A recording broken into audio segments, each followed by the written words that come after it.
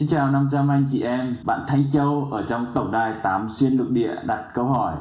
Anh em cho hỏi YouTube ra gói Premium thì doanh thu của các creator có ảnh hưởng như thế nào? Như chúng ta đều đã biết thì YouTube hiện nay đã cho ra mắt gói Premium ở Việt Nam.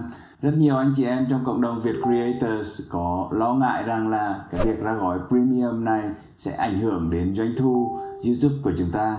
Điều này cũng dễ hiểu thôi tại vì là khi người ta gói mua gói premium thì không có quảng cáo nữa. Chưa biết là cái gói premium kia thì tôi sẽ được bao nhiêu tiền, nhưng mà khán giả xem không có quảng cáo thì trước mắt là tôi không có tiền quảng cáo. Nhưng người ta thường nói là một con chim ở trong tay mình thì còn chắc chắn hơn là hai con chim ở trong bụi kia, đúng không?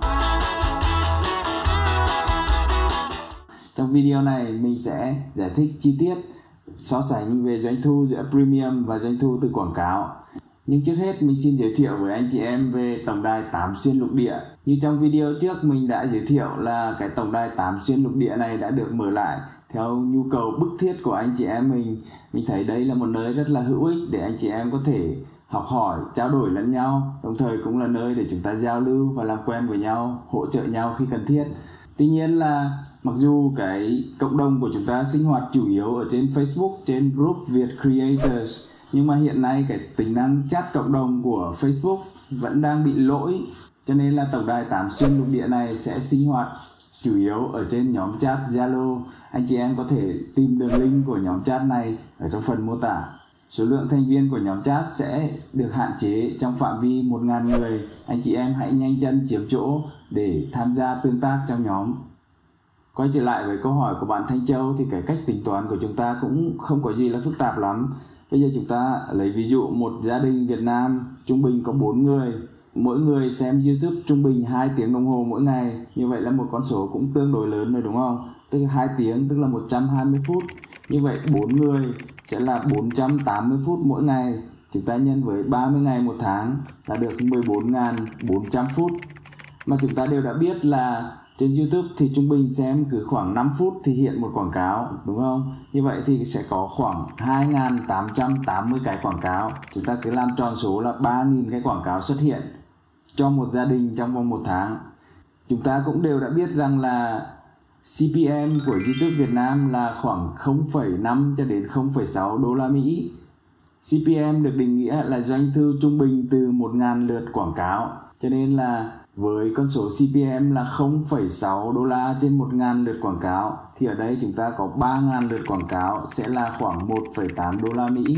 Trong khi đó, cùng một gia đình đó nếu mua gói premium thì người ta sẽ phải trả là 149.000 đồng, tức là hơn 6 đô la Mỹ một tháng.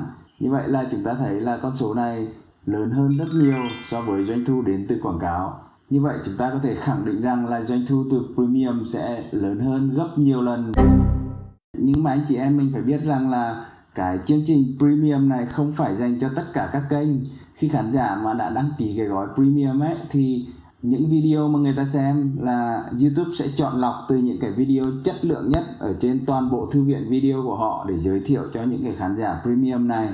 Như vậy thì câu hỏi tiếp theo đặt ra là làm sao để kênh của tôi được lọt vào cái chương trình đó. Thì nhìn chung ấy là, chúng ta cứ nhớ trong đầu ba chữ là xanh sạch đẹp chúng ta làm cho content của mình chất lượng hơn xanh hơn sạch hơn đẹp hơn thì sẽ được uh, có cơ hội để lọt vào chương trình YouTube Premium. Còn nếu mà để nói chi tiết ấy, thì YouTube dùng một cái thông số để đánh giá chất lượng của một kênh. Cái thông số đấy gọi là P-score. Mình đã làm một video hướng dẫn chi tiết về cái điểm P-score này của kênh YouTube và cái cách để mình tăng điểm P-score cho kênh của mình. Các bạn có thể tham khảo theo đường link này mình hy vọng sẽ tiếp tục nhận được nhiều câu hỏi thú vị và nhiều tương tác ở trong tổng đài 8 xuyên lục địa. Anh chị em hãy nhanh chân tham gia vào nhóm chat này bằng đường link mình để trong phần mô tả. Hẹn gặp lại anh chị em trong những video lần sau của Việt Creators.